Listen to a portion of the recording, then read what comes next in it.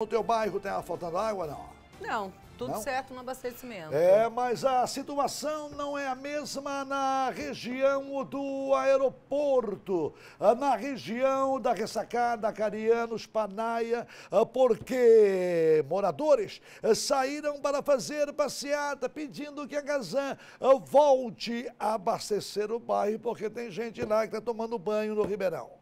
Bota no ar. Cansados da falta de água no bairro Carianos, cerca de 100 moradores fecharam o principal acesso ao aeroporto da capital no final da tarde deste domingo.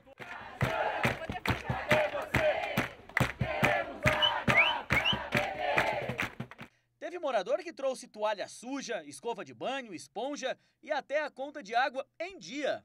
A gente já está há bastante tempo sem água e deixou de ser uma, um problema excepcional e se tornou recorrente.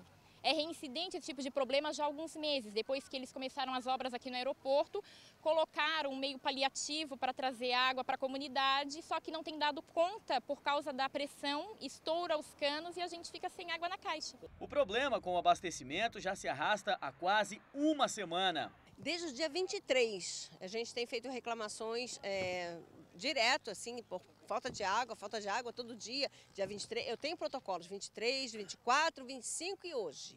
Segundo os moradores, o problema da falta d'água acontece por causa das obras de duplicação da Avenida Diomício Freitas. Segundo eles, a Casan substituiu o encanamento que abastece o bairro Carianos por estes dois canos, que acaba não suportando a pressão da água.